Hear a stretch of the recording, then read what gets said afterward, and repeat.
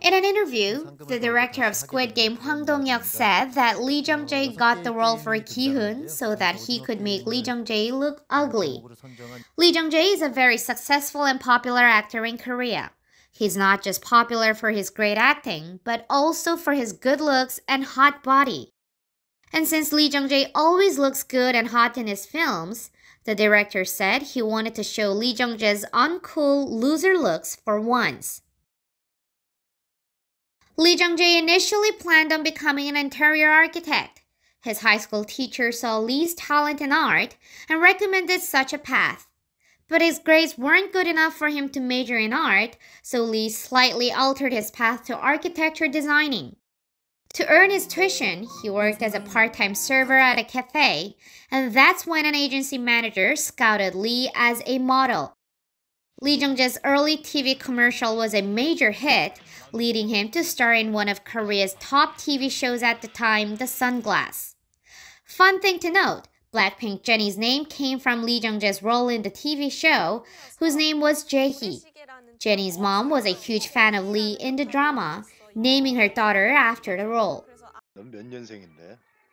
Lee Jung-jae is well known for being best bros with another top star in Korea, Jung Woo-sung. The two 48-year-olds first met filming the 1999 movie City of the Rising Sun.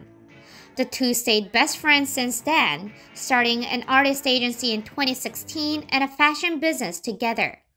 The two also moved into the same condo, staying even closer as neighbors. Lee Jung-jae and Jung is now more of a family than a friend, said Lee. Funny how when they first met back in 1996, they both thought the other was real handsome. Lee Jung-jae admitted his relationship with his girlfriend Lim Se-ryung, the heiress of Korea's major food product corporate.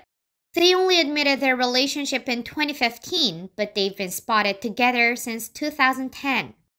Now, what's even more interesting about this is that his girlfriend Lim is the former wife of Korea's biggest conglomerate, Samsung's owner Lee Jae-yong. So basically, Lee Jae-yong's ex-wife is Lee Jung-jae's current girlfriend. Lee Jung-jae had confessed that his older brother has autism. After much hesitation, he shared this deep down painful story of his family in an interview. And because his family was poor, Lee Jung-jae was responsible for looking after his brother when his parents left for work. But he said he was never burdened by his brother or his family.